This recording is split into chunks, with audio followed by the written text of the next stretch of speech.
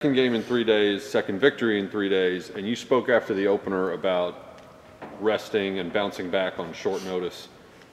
With that in mind, what did you think of your team's performance today? I think we were inconsistent today. You know, we had our we had our moments, uh, had our runs, and did some things, hit some threes today that uh, I, I, you know, we haven't done a lot in practice, and I thought uh, I thought Mallory was a was a huge spark for us. And uh, that was nice to see her hitting her shots. In fact, we talked about it in, sh in shoot around today. Said if Mal, if she can continue to hit outside shots, because she's taking her outside shot more in practice, it really puts a lot of pressure on the defense when she stretches, you stretch the defense out. So that, that was a spark for us. Um, defensively, we got to get better. Uh, we still, that's a work in progress. Uh, we got to do a better job, play defense without fouling. Uh, I thought, you know, I thought we tried to play with our hands instead of moving our feet today. So that's that's something that I was not happy with. I, I, felt like we were inconsistent with. You know, when when a team comes in on your home court and shoots more free throws than you, uh, it's, it's it's certainly not anything except the fact that you're fouling too much. You mentioned the defense. You did generate 30 turnovers from Texas Southern. Was the is the improvement you're looking for a hustle fitness kind of thing in terms of moving their feet more? Or is it more working within your defensive scheme to to not foul as much as you said? I don't think it's it's, it's lack of uh, hustle by any means. I, I, I think it's knowing your personnel. You know, it's one of the things we talked about at halftime is they all their penetration to the basket was going to their right hand, right hand, right hand, overplaying their right hand, and you know, ball goes into the high posts is shaded to that right hand. Well, we have a lot of youngsters out there. We have a lot of new people. They have to understand our defensive concepts. And, and even, even Karina Baker, who's a junior, you know, she was taught one way maybe at a junior college. So this is a, a lot of our defensive concepts may be new to her. She played a lot of zone. In fact, she didn't play much man uh, when she was out there. So she, she was better today, but she still has to do a better job of positioning ourselves given, uh, with that being said, again, we had post players in foul trouble. At one point, we had Destiny, Akil, and Lex, who hadn't played a whole lot of minutes with four fouls. So we got the fouling part down. you know, now, now we've got to uh, learn to play a little bit better position defense. You mentioned Mallory Singleton. Last year, her high offensive outpoint was eight points. In the opener, she got nine. Tonight, she got 16. What did you talk about after last season for her to improve on and work on before coming back this year?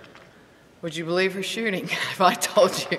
No, actually, we, when, we signed, when we signed Mel, we signed her because she's a four player that can stretch out defenses, that she can shoot the outside shot. You know, last year Mel got into a rut, and I think it became a confidence issue. She just she couldn't she couldn't knock down shots, and when sometimes when a shooter doesn't knock down shots consistently, it, it, it, plays with your mind a little bit. And she just got down on herself, and I think she worked. You know, if there's one player that I can say uh, that consistently worked, was in the weight room, worked on her game, it was Mallory. And she deserves to have a good game out there because she, she's worked so darn hard. But she can shoot the ball. But when you hit shots like that, you're not afraid to take the next one. If you miss a couple of shots, then you're you're hesitant. And you don't ever want a shooter to be hesitant. But if she can continue to hit those shots like i said it's really going to stretch out their defense and they can't sag on our post players. Alicia fillmore is your senior captain who obviously has shown the ability to score. Tonight she gets into double digits again but with 12 points she also added five assists six steals. Are you looking more for all-around performance from her rather than being a dominant scorer on a nightly basis well, what I, you know, it's interesting because I talked to Alicia before the game because I never really, uh, I didn't tell her this the other day, and she, I thought she had a really solid game all around the other day. And, and uh, she knows when we're down, the other team's making a run, we need her to take over, take charge, and lead us, whether it be from a defensive standpoint, offensively. And I think, you know, today she hit some key shots at some key times. I, I, think she got a little down when she missed some free throws. She's missed today. She missed some free throws that she, uh, her percentage is usually better. So I think that played with her a little bit. But you know, she she had a couple of tough passes the first half. I thought she tried to force some things and and in there and and you know second half she played played a little bit better. But you know, she played, she plays a lot of minutes for us, and we expect her to do a lot of things, and she is our floor leader out there. I think she got a little help from Karina today. She got some help from Mal, so the bulk of the scoring, didn't, we didn't rely uh, so heavily today on Alicia, and, and that helped. That. That helps us as coaches when you have other players that are going to come out there and score for you, especially especially when Akil's doesn't get into a flow of the game. She's played two games and hasn't been able to get in the flow of the game because she's gotten in foul trouble. So I'm going to say she's going to be ready come Thursday. You mentioned Akil Simpson held the three points tonight, uh, but she did do some of the other things. She had five assists, five rebounds.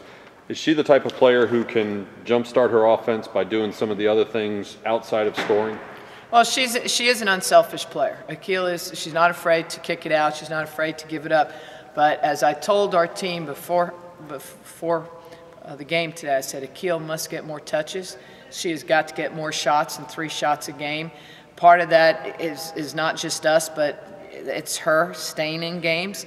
You know, every time she gets in a game, she, she gets a foul or two, and, and she's she's got to sit out. So the problem is she just didn't get into a flow. When she's in there, she's very active, and and we can't afford for her to get in foul trouble uh, Thursday.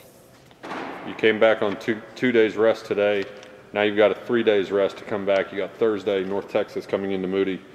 Uh, new coaching staff up in up at North Texas. How much do you know about them, and how good is that team going to be? Well, we know quite a bit about the coaching staff, about the head coach. You know, he was at Wake Forest and spent a number of years at, at TCU. He's going to, they're going to be a well-coached team. He's going to do a lot of different things. Uh, it's, it's, it, it's a crosstown rival. I know, I know this. Last year when we went up to North Texas, we were 3 and 0, and they took it to us.